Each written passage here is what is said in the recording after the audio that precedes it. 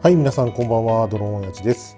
今回はですね、ホーリーストーンさんから新しくリリースされております HS210F こちらのドローンをですね、レビューしていきたいと思います。久々のですね、トイドローンのレビューということで、少し楽しみにしております。でこちらのホーリーストーンさんの方からご提供いただきました。ありがとうございます。お礼を申し上げます。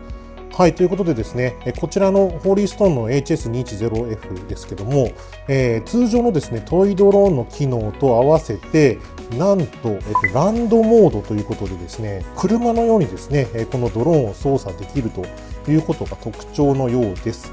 はい、ということでちょっとですね、中身開封してからのレビューいってみたいと思います。はい、それではですね、開封の方は一気にですね、いきたいと思います。こちらです。はい、これがですね、一式のセットになっておりまして、まずはですね、ドローンの本体なんですけども、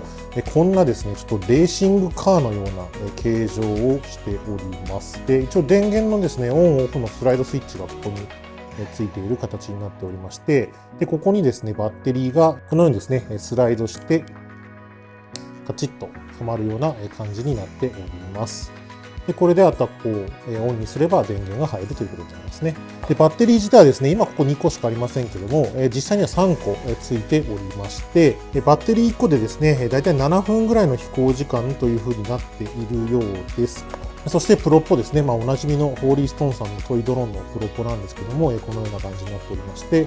ここに電源スイッチですね、オンオフのスイッチが入っております。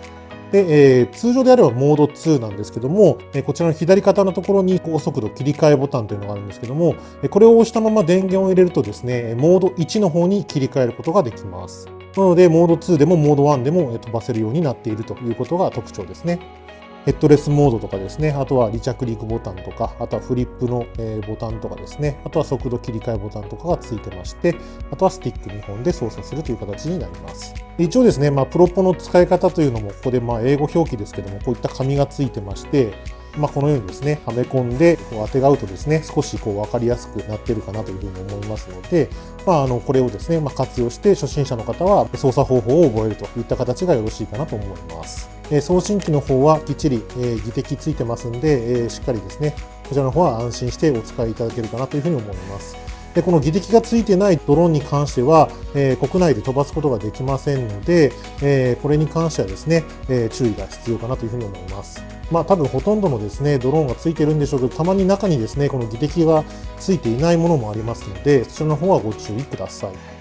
はい、そしてですね、一応マニュアルの方は一応日本語対応になっておりまして、最初は英語なんですけども、途中からですね、日本語の目次がついてて、マニュアルが一式ついております。でバッテリーのですね充電の方は付属の USB ケーブルがありますのでそちらの方を使って、えー、充電をしてください赤いランプが消えるとですね充電が終わったよということになりますので、え、そちらの方で確認することができますはい、それからですね、一応替えのプロペラが1セットついておりまして、プロペラの取り外し工具とかドライバーとかも一式一応ついております。ま、いつものトイドローンのセットという形ですね。はい、以上がですね、こちらの HS210F のセット内容ということになっておりますので、まあ、ぜひですね、気になる方は概要欄の方にあのリンク先載せておきますので、ご購入をしてみてみてはいかがかなというふうに思います。じゃあですね、早速、えー、ちょっと飛ばしてみたいと思います。はい、えー、飛ばし方ですけども非常に簡単です。まずですね、でプロポの電源をオンにしてください。で、ここ点滅しますので、これでバインド待機状態になります。そしてこちらの機体の電源ですね、こちらのスライドスイッチをオンの方に切り替えていただくと LED が点滅し始めますので、この状態で左スティックを上、下とすることによって、これで今バインドされた状態になります。で、ジャイロリセットする場合はですね、速度切り替えボタンを長押しします。そうするとこのようにピーと光って高速点滅しますので、この高速点滅した状態でえジャイロリセットという形になります。であとはもう非常に簡単ですね、えー、ここの離着陸ボタンを押せばドローンが一定高度まで上がってホバリングを開始するという形になります。それでは早速飛ばしてみたいと思います。押すとこのような形でフェイクオフまで行きますね。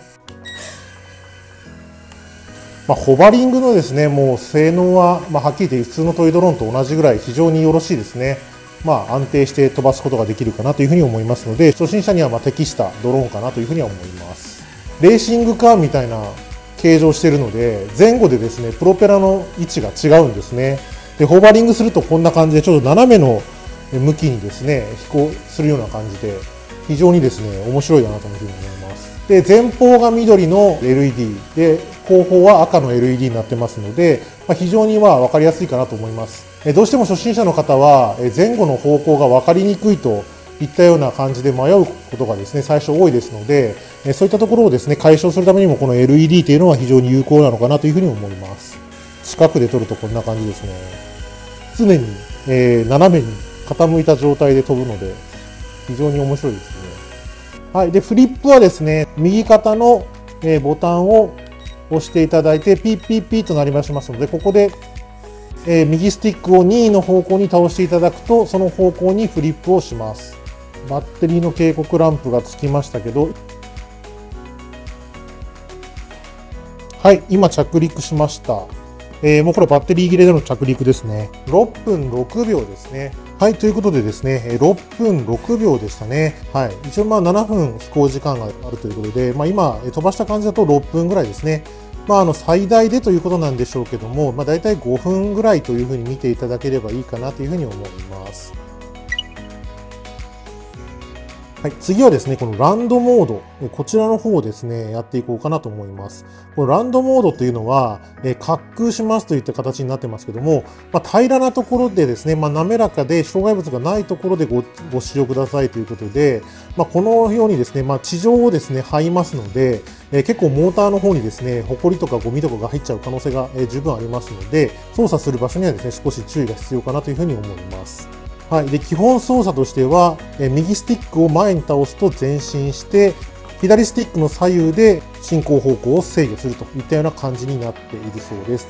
で、え右スティックをですね、下に倒すと、えー、この地上で回転する360度回転モードというのがですね、ついているようですね。まあ、この機能があった方がいいのかどうかはわかりませんけども、一応こういった回転モードもついております。で、クルーズ制御というのがありまして、これを、このクルーズ制御を押すとですね、送信機から音が鳴って、ドローンが機種の方向に向かって一定の速度で、えー、移動しますので、あとは左スティックをですね、左右に倒すと、その方向にドローンを操縦することができるということになります。はい、ということで、このランドモードの方をやってみたいと思います。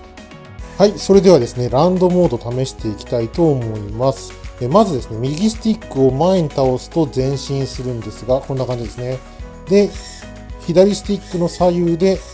右方向、左方向にそれぞれドローンを、機体をコントロールするんですけど、なかなかこれが難しいんですね。結構暴れ馬みたいな感じで、こんな感じで動きます。ドリフトマシンのようですね。まあ、遊ぶことはできるけども、なかなか操作は難しいと思います。はい、こんな感じですね。で、右スティックを下に倒すと、こんな感じで回ります。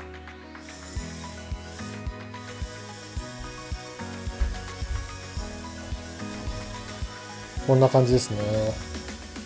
結構操作は難しいと思います。慣れるまで一苦労かなと思いますね。で、クルーズモードなんですけども、このヘッドレスボタンですね、押すことによって少しずつ前進しますので、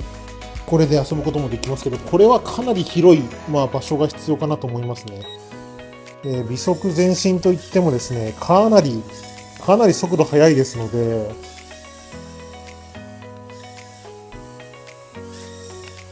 こんな感じですね。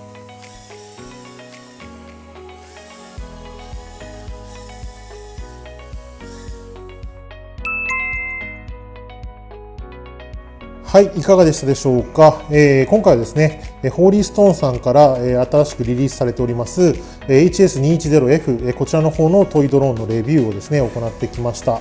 えー、まあ、あの 100g 未満ですので、一応航空法対象外ですが、まあ、もちろんこの機体はですね、えー、屋内向きかなというふに思います。えー、多分外で飛ばすには少しパワーが不足しているかなとも思いますので、外では飛ばさないようにしてください。ドローンとして飛ばすには非常にですね、いいかなというふうに思いますけども、ランドモードは結構ですね、じゃじゃ馬のように暴れますんで、こちらに関してはある程度広い部屋かですね、それかま体育館のようなところで飛ばすのが一番いいのかなと思います。でちょっとですね、ランドモードに関しては、まあ、思ったような操縦がちょっとできなかったなという印象です。ただですね、ホバリング性能とかですね、あの、これまでの HS210 シリーズとほとんどですね、変わらずに非常に高性能ですので、まずですね、ドローンの初心者の方が操縦方法を覚えて、機体になれるというところではですね、この機体はお勧めできるかなというふうに思います。まあ、飛行時間もですね、5分から6分ぐらい飛びますので、その辺をですね、考えても、価格とですね、まあ、性能というところで見ると、申し分ないものかなというふうに思いますので、